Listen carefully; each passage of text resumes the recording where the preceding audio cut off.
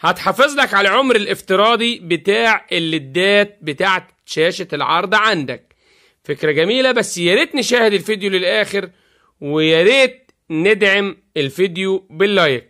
فكرة هتفيد كل إخواتنا وحبايبنا اللي بيعانوا من مشاكل كتير في الصوت في شاشات العرض واللي بيعاني من مشكلة صوت في التلفزيون القديم واللي عايز يريح شاشة العرض أثناء الليل ويقدر يريح الليدات بتاعة الشاشة بحيث إن العمر الافتراضي بتاعها ما ينتهيش بسرعة. يا ريت تشاهد الفيديو للنهاية ويلا بينا على الشرح.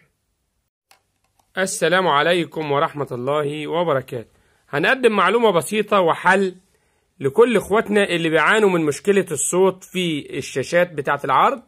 يعني لو عند حضرتك تلفزيون من القديم أو من الحديث وحصل عندك مشكلة في الصوت بتاع الجهاز ورحت للصنايعي وقال لك خلاص ده صوت الشاشة مش هيطلع تاني وفي مشكلة في دايرة الصوت أو ال IC مش موجود أو ال processor أو أي في مشكلة.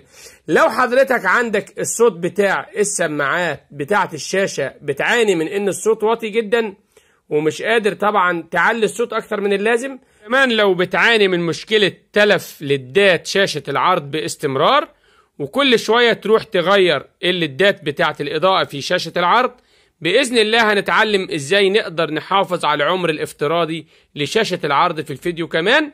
الحل بسيط جدا هتقدر تشغل على الريسيفر الخارجي وتقدر تشغل من خلاله الصوت خارج عن الشاشة نهائيا. يعني ملناش علاقة بدايرة الصوت اللي موجودة في الشاشة. ده ريسيفر من ال HD الميني. هنبدأ نوصله في ال power. فولت وهنوصل كابل الإشارة.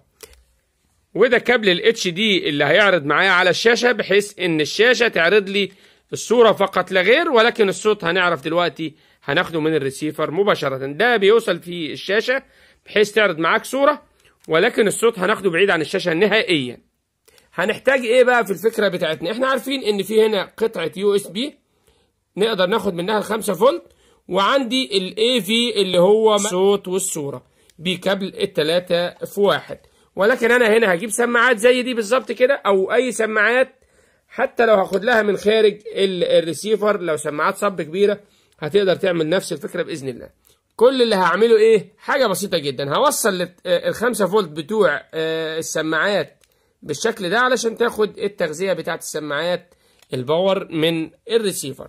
وهنيجي هنا نوصل الكابل بتاع الإيديو بتاع الصوت. هنوصله في المدخل ده بالشكل ده كده هيشتغل معايا ويبقى زي الفل. نجرب كده بسم الله. نحن الآن نكرم صوت شغال. جامعة الأزهر أو صوت شغال جميل جدا جدا. حتى أنا أنا أفصل بقى الصوت كده ومنهم أفصل الصوت علشان حقوق الطبع والنشر والمشاكل. آه أنا دلوقتي قدرت أشغل الصوت من الريسيفر مباشرة على سماعات صغيرة. فبالتالي مش هقدر أحمل على الشاشة وأقدر اشغل لو أنا قفلت الشاشة وسبت الصوت شغال على القرآن الكريم هيفضل شغال معايا على القرآن الكريم أو على أي قناة حابب أسيبها شغالة. إذا أصبح عندي الصوت مستقل نهائيا عن شاشة العرض أو التيفي بتاع حضرتك. لأن أغلب الأعطال في الشاشات إن الليدات بتبوظ لأن الناس بتسيبه شغال على القرآن الكريم للصبح ولتاني يوم والعمر الافتراضي بتاع ليدات الإضاءة بينتهي وبالتالي الشاشة بتضلم وبتشتغل معاك صوت بس. لكن في الفكرة دي هتقدر تشغل الصوت بعيد نهائيا عن ال power بتاع الشاشة. يعني تقدر تفصل الشاشة نهائيا ويفضل الصوت شغال معاك من خلال الريسيفر والسماعات الخارجية مستقل تماما بعيد عن الشاشة. يا رب الفكرة والمعلومة تفيد حد من إخواتنا وحبايبنا اللي بيشاهدونا. إحنا بنقدم معلومات وإن كانت بسيطة ولكن لأي حد محتاج الفكرة هيقدر يستفاد ويقدر يشغل جهازه. أنا لو عندي الشاشة والصوت باظ فيها ومش عايز الصنايعي يلعب فيها ويشغلها لي أو السماعات قطعت نهائيا هقدر أعمل الفكرة وأشغل الصوت بعيد عن الشاشة نهائيا وأقدر أستفاد من الفيديو بإذن الله.